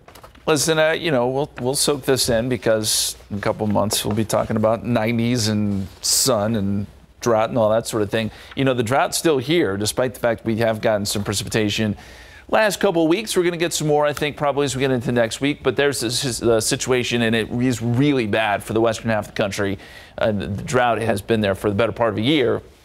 And we're still seeing it here in South Texas, just not as bad. You see the orange color here, that represents a severe drought that stretches from northern Bexar County, Canyon Lake, down to Medina Lake, Crystal City, Carrizo Springs. That's sort of the corridor where eh, we just can't get enough rain. We can't seem to overcome uh, the deficit that we have in place. And Medina Lake, 39% full, down 34 feet.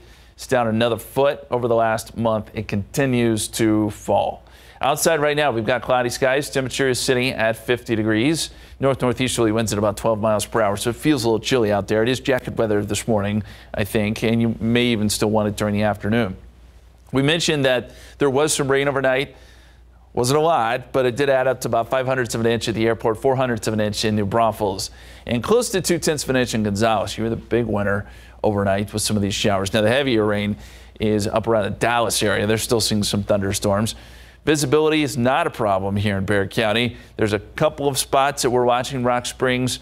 We've seen Gonzales kind of fluctuate a little bit there, but all in all, fog has not been uh, just a big problem. Humidity tracker shows that dew points are pretty high down to the south.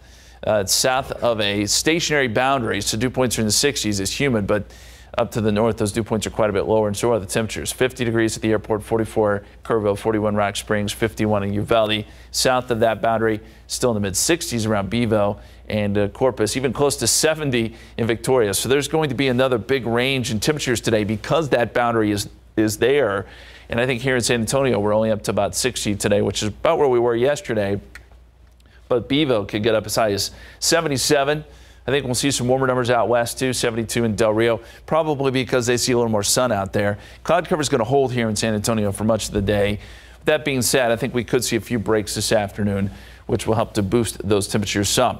I mentioned the heavy rains up there around Dallas. Starting to move away, though. A lot of the energy is moving east, and that means our rain chances going are going away too. So most of your Friday's quiet, just mostly cloudy. Saturday, we start off with some fog and drizzle. There could be a shower or two, but very similar to today in the sense that we'll get mostly cloudy skies during the afternoon. And then by Sunday, rain chances pick up a little bit. Best chance, though, is going to be overnight Sunday. Sunday overnight into early Monday morning. We'll get a frontal boundary in here. That could produce some thunderstorms too. We'll have to watch for the prospect of maybe a couple strong storms. That's not out of the realm of possibility. And then by the time we get into Monday, just some showers around the area. And we could see some decent rain out of this, maybe up to half an inch in some spots, quarter of an inch here around San Antonio, and then you'll see some higher numbers off to the north and east. Extended forecast looks like this 60 today, 74 tomorrow, mostly cloudy, 75 Sunday, cloudy skies, fog and drizzle possible each and every morning through Sunday. Then a 60% chance of showers after that front comes through, 59 on Monday, 60 on Tuesday with some clearing late, guys. So Monday could be a little bit of a mess, but we need some rain really bad because we don't want to head on into the summer with, you know, nothing happening. Completely agree. We need as much rain as we can get at this point. Thank you, Justin. Yep. 620, 51 degrees. The classic Hasbro toy, Mr. Potato Head, will now be rebranded as Gender Neutral. Find out more in today's GMA First Look. Here's your secret word of the day. Enter it on ksat.com slash Circle K for a monthly chance to win free gas for a year. Every entry wins a medium coffee. Win with Circle K and GMSA.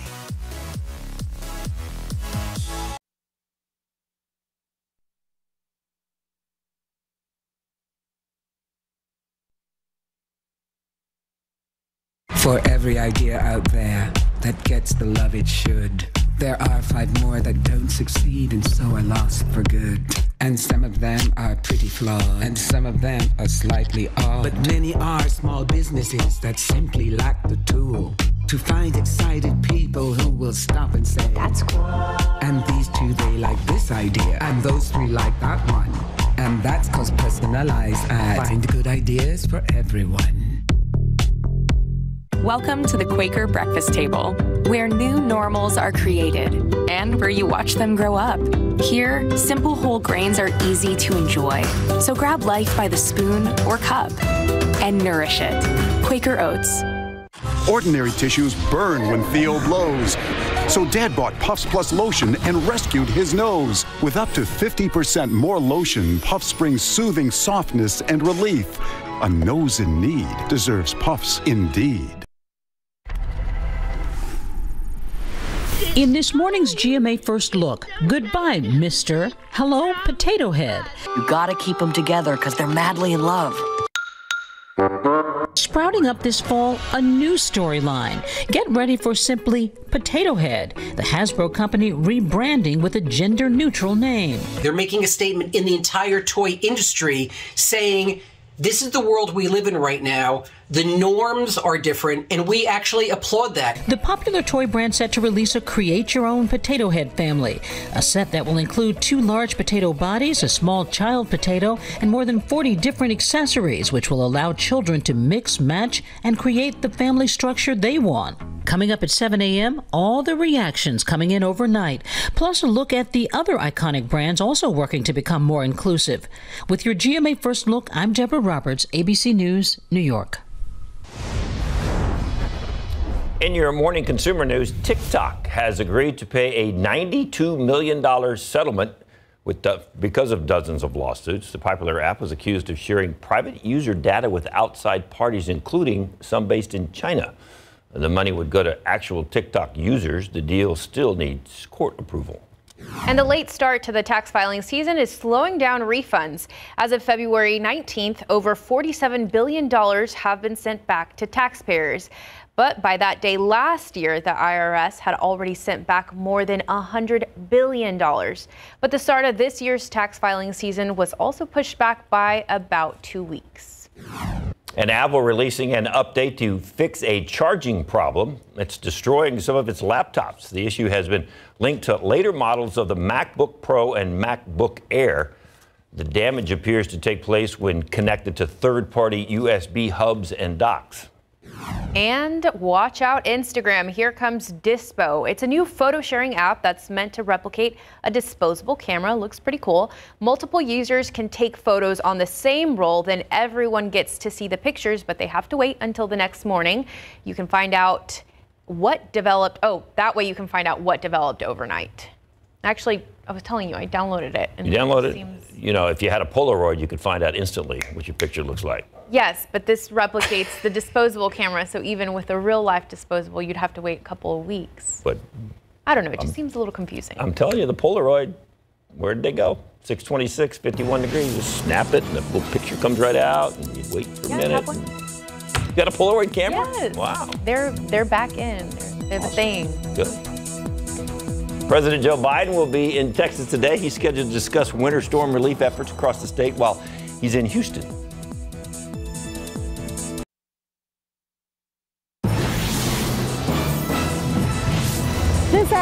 Road marked the end of the road for three teenagers who police say were on the run after a robbery and chase. I'm Katrina Weber. I'll tell you more about it. A new African American Studies course is being incorporated into school curriculums. Coming up later on GMSA, we'll hear how experts hope that this will take the conversations in the classroom to the next level. This morning, the Biden administration launches its first military strike targeting buildings in Syria. I'm Ike Ejiochi in Washington. Coming up, why the Biden administration decided to launch this strike. And outside with live cam looks pretty good right now. I got a little mix of this and that going on today and on into the weekend. Justin Horne's got your forecast coming up.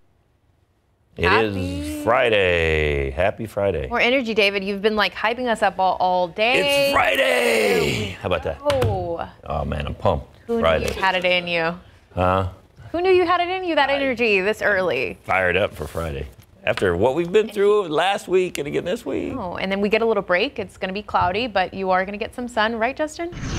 Yeah, you know, I think we may see a few peaks of sun this afternoon and tomorrow, but cloudy skies at least to start. It's good napping weather if you can't take a nap today. I know David's got that in the schedule sometime in the next couple days. Uh, 45 degrees Boerne Stage, 48 Bulverde, 50 New Braunfels, 50 Stinson, 51 Hondo. We've still got a, a huge spread in temperatures across the area because of a stationary boundary. So you got 40s up in the hill country and then you got 60s, upper 60s down along the coast. And that'll stay around today because this boundary is really not going anywhere. But San Antonio probably stays on the cooler side of things. High temperatures today only up around 60 degrees. Any sort of rain we got last night is moving out. Some heavy rain across East Texas, that's also moving away. So our rain chances today really aren't, uh, aren't there. Uh, we'll just call for uh, cloudy skies for the most part. Temperatures up uh, close to 60, as I mentioned, mostly cloudy this afternoon. What about the weekend? 74 Saturday, just a 20% chance of rain, 30% chance of some showers on Sunday, some morning fog both days. The better chance of rain, though, is going to come on Monday. So your weekend, all in all, doesn't look that bad. Uh, we'll talk more about that seven day forecast here in just a little bit, but let's get over to Samuel now and check in on the traffic. Friday mornings, usually good to us when it comes to that morning commute. Still Yeah. looks okay, right? Yeah, it still looks okay, but you can see the traffic here at 35 and Thousand Oaks uh, building a little bit as folks uh, head to work this morning. And good morning to you if you're just joining us here. Let's take a look at that travel time between New Braunfels and 410 right now. Uh, 20 minutes if you're heading northbound to New Braunfels from 410, 19 minutes if you're heading southbound into San Antonio. And taking a look at 410 as well uh, this morning, that travel time looks good on the northwest side, uh, seven minutes between I-10 and 151. But as we know, uh, those delays will likely build throughout the day. Uh, looking at I-10 coming in from Boerne to downtown San Antonio, 24 minutes, 19 minutes from Castroville, uh, 24 minutes on 87 from La Vernia, and 28 minutes on uh, 37 from Pleasanton. And We'll have another update shortly. David Alicia, over to you. Thank you, Samuel. Three teenagers are in adult sized trouble after a robbery and chase. It took them and police on a high speed trip along three different highways around town. Katrina Weber is live where it all ended, Loop 1604 Access Road near Dove Canyon. So, Katrina, you mentioned earlier that the car they were in was stolen. What more can you tell us about that? Well, good morning. Yeah, that's right. That is the robbery part of this whole situation. Police say that that car was taken from a man at a hotel along with some of his other property. Uh, it all ended, it led to a chase and then that ended here. Let me show you how things looked a little bit earlier this morning. Uh, police stopped the car with the assistance of the Bexar County Sheriff's Office and their spike strip. They flattened the tires on that stolen car. Uh, three teenagers who were inside were quickly taken into custody. The police say that that car, again, was taken from a man at a hotel. Uh, at some point later, around 4 o'clock this morning, they spotted the car on the street, tried to stop it, and then that is what led to the chase, which at some points reached speeds of up to 100 miles per hour. They went along three different highways and several city streets before they were able to get that car to stop here at the Loop 1604 access road near Dove Canyon. Again, three people in custody. Uh, police tell us that the man who owned the car did suffer a slight injury. He was hit in the head with a gun uh, as the people took his car.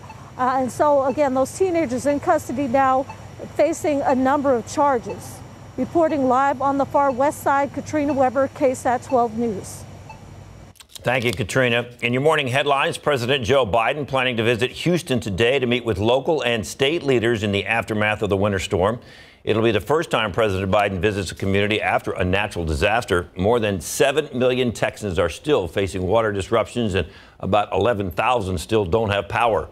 The president is also scheduled to visit a vaccine distribution center after the weather delayed delivery of about 6 million doses. And President Joe Biden ordered his first military operation, launching airstrikes in eastern Syria. ABC reports that officials say it was a retaliation for a rocket attack that wounded five Americans earlier this month. ABC's Ike Ejiochi has more. Good morning. Defense Secretary Lloyd Austin was visiting sailors at an event yesterday in California. At the same time, he was monitoring this operation he says was successful. This morning, President Biden's first military strike launching two warplanes into eastern Syria. The target, a group of buildings in eastern Syria defense officials say are owned by Iranian backed militias, believed responsible for recent attacks against Americans in Iraq. We're confident in, uh, in the target that we went after. We know what we hit. President Biden says the airstrikes were in response to a rocket attack on U.S. forces earlier this month outside Erbil in northern Iraq. The rocket attack slamming into a base that housed U.S. soldiers and contractors, wounding five Americans. These are dangerous attacks. Officials tell ABC News Biden's airstrike could have resulted in a handful of casualties, but that it was the least lethal option. And this morning, congressional reaction already flowing in. Representative Mikey Sherrill telling MSNBC. You can't simply attack U.S. troops without any response. And yet, the response that he decided upon was measured. The Pentagon spokesperson telling ABC that the Biden administration, quote, acted in a deliberate manner that aims to de escalate the overall situation. Now, President Biden says he's open to rejoining the Iran nuclear deal that the previous administration pulled out of. However, he says he wants to see even more restrictions. In Washington, Ike Ejiochi, ABC News. Back here in Texas, a large fire at a recycling plant in Tarrant County is still smoldering this morning. It broke out yesterday afternoon on the border between Fort Worth and Richland Hills. More than 100 firefighters from at least 11 cities working to keep it contained. Both cities have been dealing with water loss caused by either pump failure or water main breaks from the recent winter storms. Officials say the water issues impacted firefighters trying to extinguish the flames. They say only a few employees had minor injuries. And in the latest immigration news, a border crossing in El Paso will start processing asylum seekers who have been forced to wait in Mexico. It will join the facilities in Brownsville and San Ysidro, California, as the only places processing applications right now. It comes after President Joe Biden began rolling back the Remain in Mexico policy from his predecessor. The White House estimates that about 25,000 people still have active immigration cases right now. A federal judge in Texas has ruled that the federal moratorium on evictions is unconstitutional. Former President Donald Trump stopped evictions this past September, citing the pandemic. But a group of Texas landlords and property owners then went to court saying the government didn't have the power to stop evictions. The U.S. Department of Justice can still appeal the decision. And a former U.S. Olympics, Olympics gymnastic coach who had ties to disgraced sports doctor Larry Nassar has killed himself in Michigan. It happened a few hours after Michigan's attorney general announced that the coach would face charges for two dozen crimes, including human trafficking. Geddert was facing charges for turning his gym in Lansing, Michigan into a criminal enterprise by coercing gymnasts to train there and then abusing them. It is now 6:39 and we're down to 50 degrees. A little chilly this morning. A little bit. Grab your grab your jackets, grab your coats. After the break, we'll hear from a local professor who tells us why Black History Month is important here in San Antonio.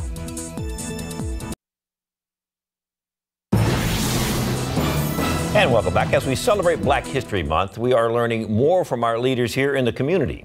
One of those leaders is Trinity professor Dr. Carey Latimore, and we asked him to share some of his experience with us and the importance of Black History Month.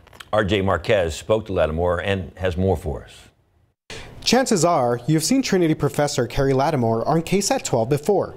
Dr. Latimore is an associate professor, historian, and author. He's been interviewed by many of our reporters to discuss our city's history and various other topics. But now we're getting to know some of Dr. Latimore's history. He was commissioned by KSAT to write a column on the importance of Black History Month.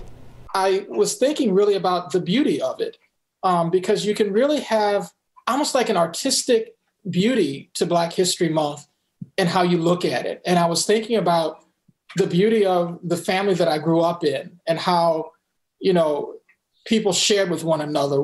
Latimore grew up in rural Virginia. He attended church with his family, where he learned the value of community and sharing with each other. He wrote about his father, who wasn't allowed to walk on one side of the street when he was a kid, and then decades later would become a magistrate of that same county. He did not let that destroy him. And so the same streets that he could not walk on or, or was pushed off of, in a sense, are the streets that he kind of has jurisdiction over later in his life. It's a story of overcoming. Like his father, mother, and many others that came before him, Dr. Latimore feels the month is an opportunity to reflect on the unknown and unrecognized black heroes of the past and present. When you think about each of our families, you know, the families that we come from, we think of their experiences and the stories that they had to tell. In many ways, those stories are just as remarkable as the stories of the people that we've learned from from the past. But as a historian, Dr. Latimore also writes about the complexity of black history. He says it is diverse and beautiful while also painful and haunting at the same time. His parents grew up in segregated schools, but they were not defined by racial tensions in the South. They fought hard to overcome, but to also not be, in a sense, kind of completely consumed by the negative because they wanted to transfer to me hope.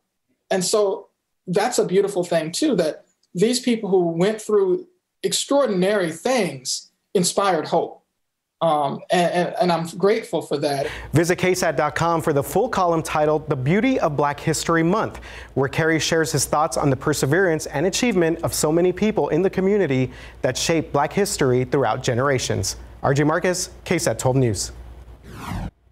Several districts in our area now incorporating African American studies into their curriculum with experts and educators hoping it will make a difference. It took a team of historians, professors, and policymakers to help get this course off the ground, all hoping to put a brighter spotlight when it comes to black history. Lawrence Scott is an assistant professor of education at Texas A&M San Antonio and played a part in getting this course into the classroom. He says the goal is to help students have critical conversations that will take our country forward. And Scott says these conversations need to start at home. This is a conversation that we need to have nationally, and this is the course. This will be the, the conduit course that will uh, uh, facilitate those conversations. The courses are being offered in San Antonio ISD, Judson ISD, and Northeast ISD. If you'd like some more information on the story, you can visit our website, ksat.com. All right, time to talk about the roads. They've been pretty clear this morning. Samuel, is that still the case today? Well, we have a couple of uh, incidents to uh, report now, David and Alicia. But first, uh, we'll get to the gas prices. If you might have noticed, driving around, especially since the storm last week, they are up 234. The last time we did this a couple weeks ago was 216. 240 is the statewide average. 269 is the national average. Texas does have some of the lowest average gas prices in the country, and Bexar County has some of the lowest in the state. So that is something. But if you are on the roads this morning, a new crash to watch out for. This is northwest side. This is uh, De Zavala Road at Vance Jackson. You can see a little bit of a delay there on De Zavala, so watch out uh, for that as well. In downtown, we're starting to see a slowdown at the Y. You're down to 27 uh, miles per hour there around the curve, so that's going to uh, slow you down probably continue to build as we move throughout the morning. Here's a look at TransGuide. This is I-10 West at 1604. You can see traffic beginning to build there. This is 281 at the river looking northbound, and you can see that traffic is flowing, uh, but it is building, guys. And Justin, uh, how's the weather going to be looking for the rest of the day? Yeah, I think it's going to be okay. Uh, you just saw the TransGuide there. The roads are fairly dry. They were wet earlier. My drive into work around 2 or 3, the, the roads were wet, but we're starting to see, see things dry out. Time lapse shows you we had area of rain come through, some fog and drizzle, but things are starting to look a little bit better just within the last couple frames here. 50 degrees. Dew point is at uh, 47. North northeasterly winds at about 12 miles per hour. Feels pretty chilly outside. We did pick up a little bit of rain overnight, not much, but some. Five hundredths of an inch at the airport, four hundredths of an inch in New Braunfels, about 15 hundredths of an inch in Gonzales. So the, there was some rain there. Uh, but we need more than that to kind of eat into this drought. My hope is that by the time we get into early next week, there will be uh, more significant rainfall in the forecast. Visibility wise, yeah, we've had a little bit of uh, fog here and there, but nothing too bad. Rock Springs, mile and a half, Kerrville down about five miles. Here in San Antonio, we've been just fine. Beeville, though, starting to see some thicker fog, and that's the case down in Corpus as well. Temperatures 51 in Helotes, 49 in Rio Medina, 45 in Comfort, 48 up there at Canyon Lake. And you've got uh, mid to upper 60s down along the coast and then 40s in the hill country. So a nice spread in temperatures as we've been talking about this morning, thanks to a stationary front. This is the same one that was around yesterday, still there, still going to cause a big range in temperatures this afternoon. I think uh, high temperatures here in town will only be around 60. You go south of that boundary, we're talking near 80 potentially in Beeville. And we'll get some warmer numbers out west too. I think the clouds will clear out a little bit. So places like Del Rio could get up into the mid 70s. So it's kind of kind of be all over the board this afternoon. But here in town, I think cloudy skies through midday and then maybe some breaks this afternoon. That'll get those temperatures uh, close to 60 degrees for a high. The rain that we saw overnight associated with a piece of energy that's uh, moving to our north and actually moving away. Dallas got a lot of heavy rain overnight, some thunderstorms. That's now moving into parts of Arkansas and will be east of us today. So I, I think things are fairly quiet, although the pattern is uh, still uh, a good one for us in the sense that we're going to get some more storm systems working in our direction. We've also got some Pacific moisture moving in, so we're not done with the rain just yet. As we get into this afternoon, mostly cloudy skies, not a big deal. Tomorrow, some drizzle, some fog early, and then mostly cloudy by the afternoon. Saturday still looks good. Sunday's not bad either, although I think we see more clouds on Sunday, and rain chances start to come up just a little bit. By Sunday night into early Monday morning, that's when rain chances really pick up. We could see some thunderstorms even uh, early on Monday as a frontal boundary comes through. And then some fairly widespread rain on Monday. We could pick up a quarter of an inch up to a half an inch. At least that's the way it's looking right now, generally speaking. So it's uh, good to see that is in the forecast. 60 today, 74 though tomorrow. Warms up quite a bit on your Saturday. Some morning fog and drizzle. 20% chance of rain. Not uh, not a huge chance there. 30% chance on Sunday. Morning fog and drizzle. And then it cools down on Monday behind the front. We'll get a 60% chance of rain. 60 on Tuesday, and then clearing out some Wednesday and Thursday. We're back up into the 60s and 70s, which, by the way, we're moving into March. It's here. Like Monday, right? I believe March so. 1st is like Monday? Yeah. Right? Ooh, It's check the here. calendar. Wow. All right. Well, it was a wild February. That's yeah, it was. Good thing it's not a leap year. It'd be even worse. Hey, it's 6:51 and 50 degrees. And changing videos to persuade an audience is nothing new. However, technology is now making it more difficult to determine what is real. Tomorrow on GMSA, how to spot dangerous deep fakes. And outside with live cam again. Going to be a good looking weekend for the most part. You can enjoy your Saturday, get out and have some fun, and then uh, get ready for a little bit of rain starting at the beginning of the week. But we need it. Got to get that rain in so we can have a great summer. at The lakes and the rivers with this.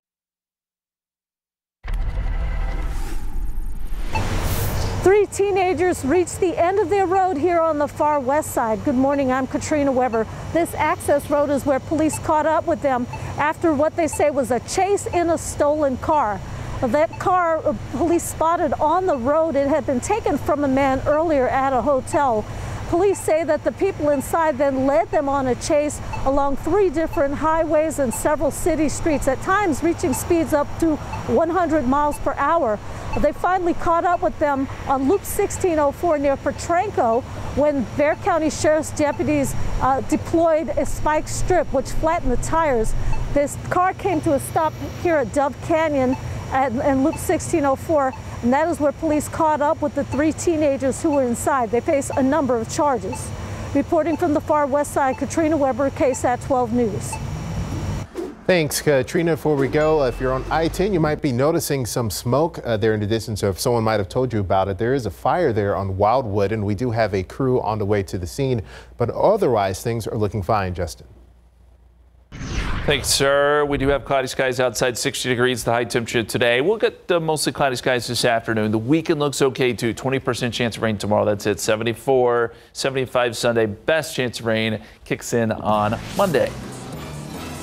All right. Well, thank you for starting your morning with us. We'll see you back here for Good Morning San Antonio at 9. Have a great weekend. GMA is.